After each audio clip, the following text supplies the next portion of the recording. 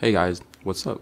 Long time no see. I've been kinda busy the past two months, but somehow this channel is still growing, so thank you to all my new subscribers. I really do appreciate you. Anyways, today we're going to be creating a simple and slick title animation in After Effects with no plugins. So let's stop looking at my ugly face and open up After Effects. First thing you will need to do is create a new composition. So let's do that. Create the composition to the resolution that you will like.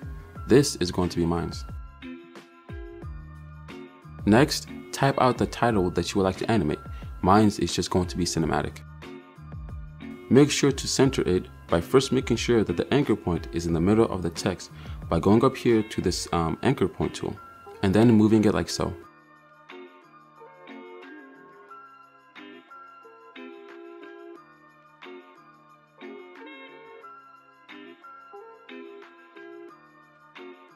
And then look for the alignment tab. If you can't find it, you can always come up here to the Windows tab and it should be the first one. Alright, after aligning it to the center, we can now start to add some effects. The first effect I added was decreased tracking. Drag and drop it onto your text layer. Then make sure your text layer is selected, then press U to bring up the keyframes. Then change the values and move them accordingly to how you want them.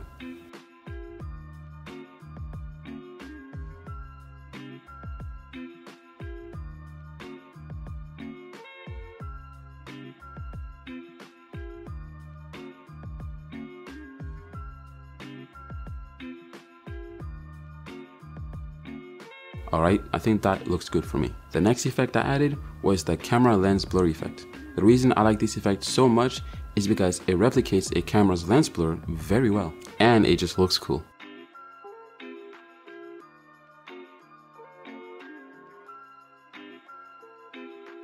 Alright, now we want to add some keyframes to make it blur in and out. Go to the beginning and add a keyframe with a value of 100. Then go to where you want the blur to end and drop the value down to 0.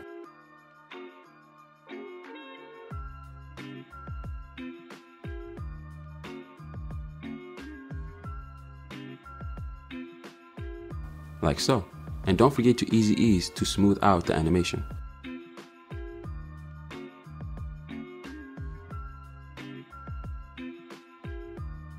So far, this is what we got. Not bad, right? Next up, we're going to mess with the scale and opacity. From the beginning of our timeline, we're going to add a keyframe for both scale and opacity. And for the opacity, change that to zero. Alright, move over one second and bring the opacity back up to 100.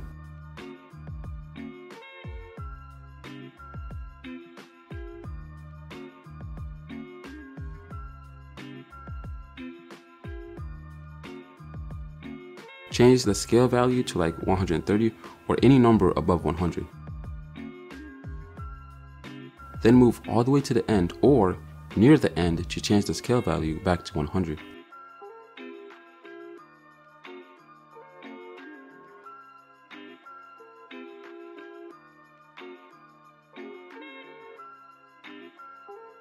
Easy ease and this is what you get.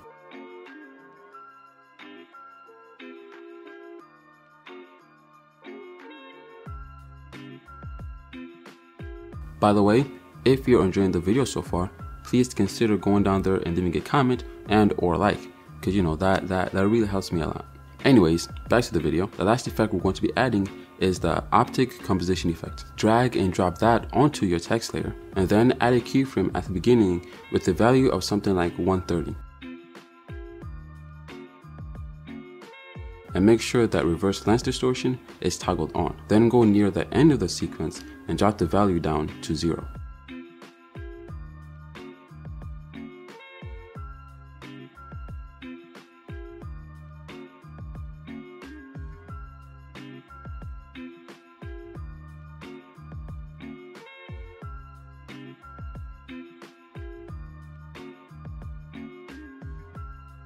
And like always, don't forget to easy ease.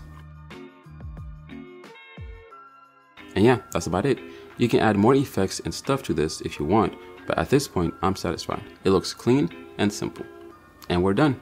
If you like the outcome, please consider leaving a like and or you know comment down exactly what could uh, what could have made this title animation better. Anyways, thanks again to my new subscribers and the OGs. It really means a lot that you chose to watch me instead of these other big YouTubers. So thank you.